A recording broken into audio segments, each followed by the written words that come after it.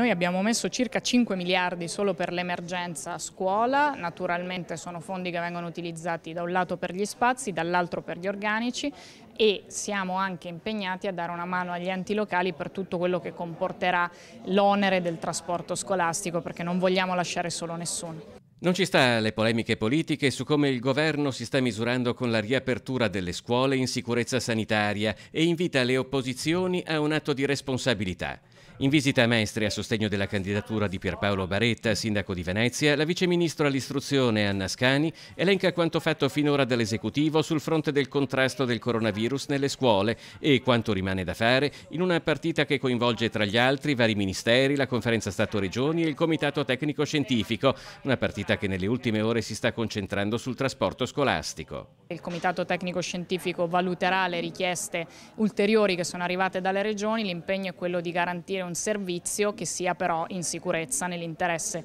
degli studenti, delle loro famiglie, di tutto il personale e quindi del Paese. La messa in sicurezza dei trasporti andrà a completare un piano che ha visto al momento un aumento dell'organico con test sierologico degli insegnanti, adeguamento delle strutture scolastiche, un protocollo unico nazionale in caso di positività in classe, accompagnate da una serie di condizioni che regoleranno le modalità di ingresso a scuola e di presenza in classe degli studenti. La misurazione della febbre, come ha detto il Comitato Tecnico Scientifico, va fatta prima di uscire di casa per non mettere a rischio nessuno e la responsabilità condivisa è uno degli elementi cardine per la riapertura apertura ma per la gestione dell'emergenza in generale. Per quello che riguarda la mascherina è obbligatorio laddove non ci sia il distanziamento, quindi non è obbligatorio tenerla al banco quando si è distanziati di un metro, negli spostamenti invece si dovrà utilizzarla e la fornirà il commissario straordinario che fornirà 10 milioni di mascherine al giorno oltre al gel sanificante.